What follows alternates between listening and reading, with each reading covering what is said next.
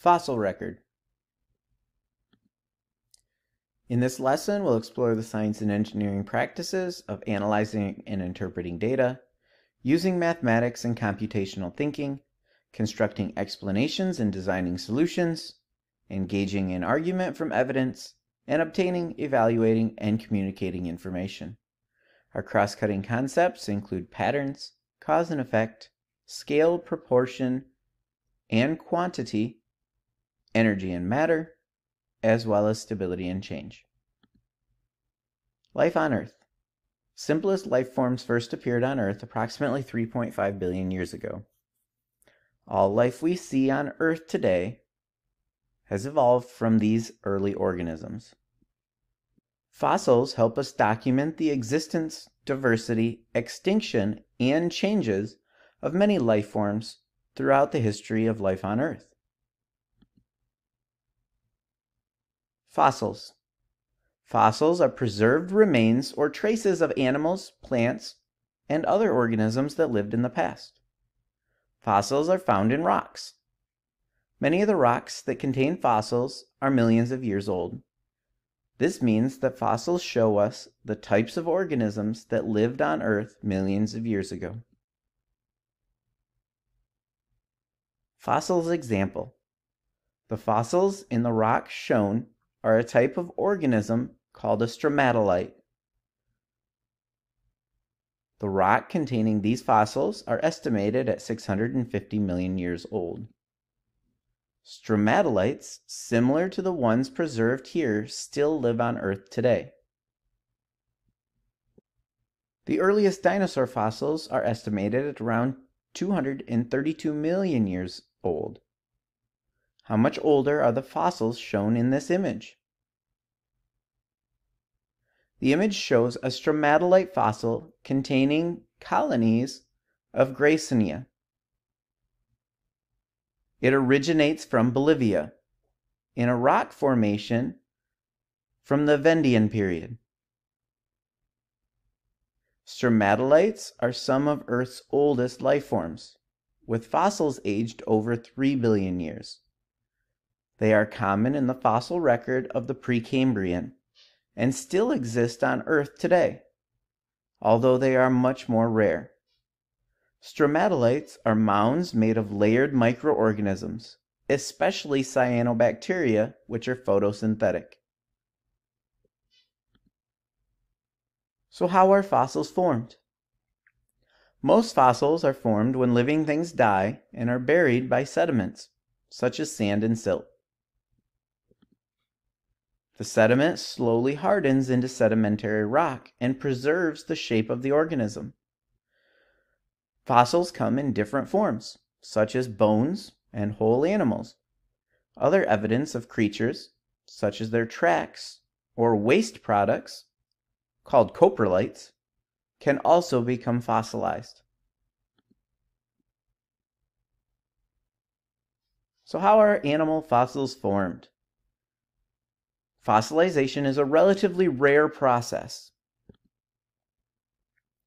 Stage 1 Mud and sand fall to the seabed. As layers build up, heat and pressure convert the sediment to rock.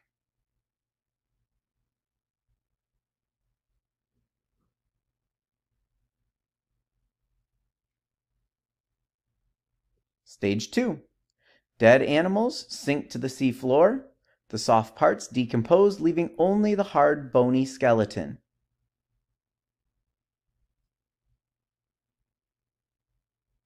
Stage 3. The skeleton is slowly buried under layers of sediment.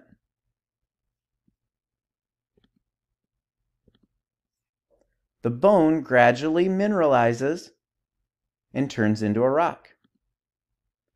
Stage 4. Over millions of years, more fossils can form. Upper layers of rock contain fossils formed more recently.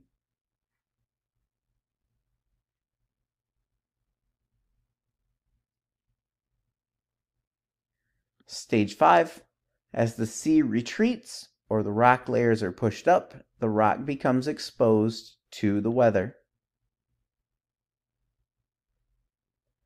Stage 6 Erosion by wind, rain, earthquakes, and human activity gradually erode the rock layers, exposing the fossils.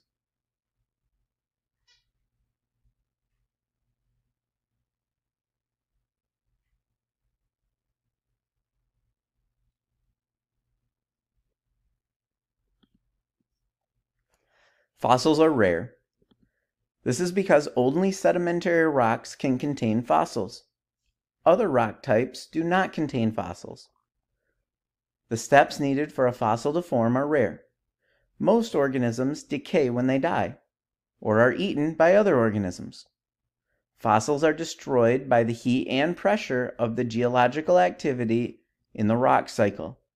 This means that most of the fossils formed probably no longer exist. The rarity of fossils means that we currently do not have a complete record of how life on Earth has changed. This is particularly true of Earth's earliest life forms, which were soft bodied, meaning that fossilization was extremely rare. However, scientists are still discovering new fossils and our understanding of ancient life continues to improve. The fossil shown here is from a Burgess Shale deposit in British Columbia, Canada. The deposit is estimated at 508 million years old, the Middle Cambrian, and one is, is one of the fewest examples of soft body preservation. This fossil is a worm from the Ottoia group It's important to recognize that the fossilization process for a soft bodied organism would have to be perfect. And so fossils like this are extremely rare.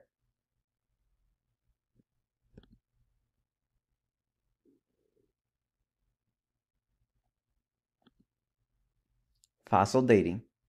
Paleontologists are scientists who study fossils. They use fossils to understand when different species existed and how they changed over time. The collection of fossils and their placement in chronological order is known as the fossil record. Different methods can be used to tell how old a fossil is. Relative fossil dating is one method, and radioactive dating is another. Relative dating.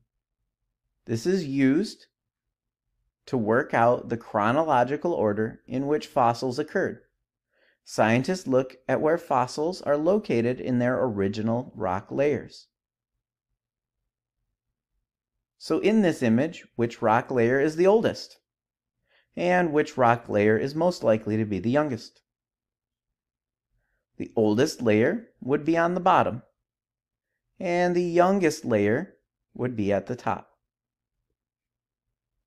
This is called the law of superposition. Scientists use the law of superposition for relative dating, which is that the oldest rocks are at the bottom and the youngest ones are at the top. Relative means compared to something else. Relative dating tells us whether a fossil is older or younger than another fossil or rock layer. It does not give us an exact age for a fossil in years. Sedimentary layers. Sedimentary rock layers can be folded, misaligned, or eroded by geological processes. This makes it more difficult to determine the relative age of fossils found in these layers. An understanding of geological processes helps scientists to work out the relative age of deformed layers. Index fossils. Index fossils are fossils that are known to only occur within a very specific time range, but found in a wide range of locations. If the fossil that needs dating is found in the same layer as an index fossil, then it must fall into the age range of the index fossil. This can help scientists to estimate the relative age of the fossil and the surrounding sedimentary layers. Using index fossils.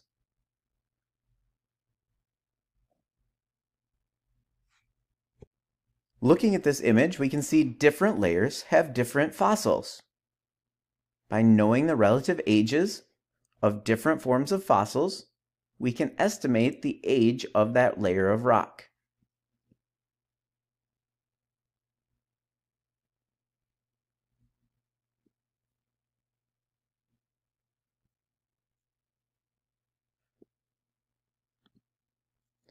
Using the fossil record. What does this fossil record suggest about species X? Species Y seems to disappear and reappear later. Why might this be? Also, which layer shows the most diversity? Can we know for certain that this was the most diverse time period? The fossil record suggests that species X is either extinct or migrated out of the area after layer 3 was formed. Species Y is not present in layer 4. This may be because it was not present in the area at this time, or because there were no fossils formed. Layer 3 shows the most diversity, but this is not necessarily the case in reality as there may have been a wide range of soft-bodied creatures over the time in which these layers were deposited. The conditions for fossilization may also have been more favorable during the period of layer 3, meaning that more organisms were preserved than in other layers. Radioactive dating. Scientists can use a technique known as radioactive dating to determine the exact age of rocks and fossils. The amount of radioactivity in rocks decreases over time at a known rate. Scientists can measure the radioactivity of a fossil and use this to determine its age. The smaller the amount of radioactivity, the older the fossil will be. Carbon dating. So, how do scientists date archaeological objects? Oftentimes, they will use carbon dating. Carbon dating can only be reliable for fossils up to and around 50,000 years old. For other specimens, potassium argon dating can be used. This is based on the ratio of potassium 40 to argon 40 in minerals and rocks. So let's look at this closer. Scientists can date archaeological objects using measurements of the amount of the radioactive isotope carbon 14 in the remains. This process is called carbon dating.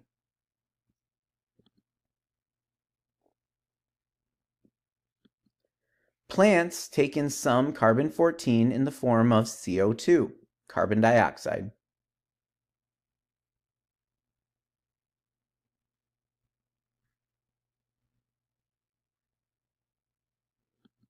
When animals eat plants, they take in carbon 14 as well. When an animal or plant dies, it no longer takes in new carbon 14. This means that as the carbon 14 decays, it is not replaced, and so the proportion in the animal or the plant falls.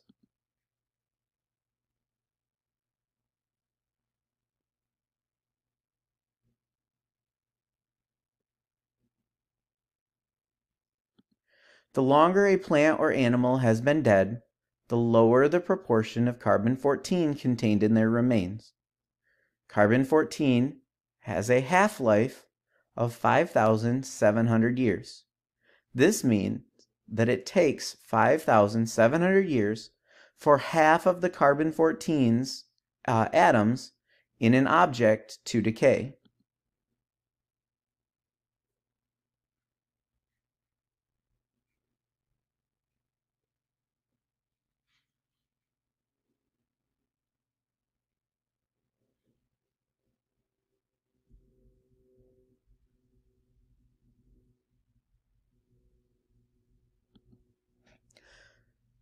From the level of carbon 14 in the remains of once living matter, scientists can work out how many half lives have passed, and they can estimate the age. This can provide evidence for the age of the remains of objects such as bones, cloth, wood, and paper.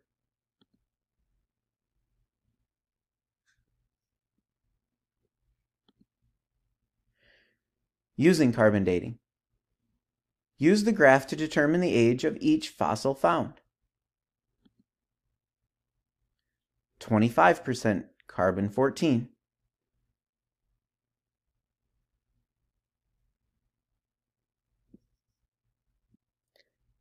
Using the graph, we're going to look at the percent of carbon 14 remaining. It says 25%. I find 25% on my graph. And I find where it intercepts. The approximate age of this fossil would be around 10,200 years old. Our next fossil only has 12% carbon 14.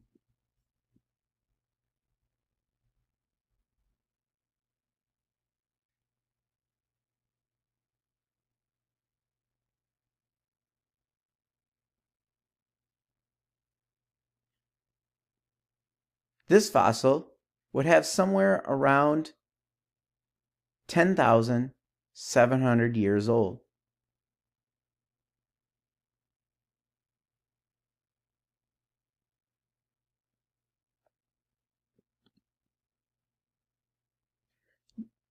Carbon dating can be used for fossils up to around 50,000 years old. So could carbon dating be used for any of the fossils shown here?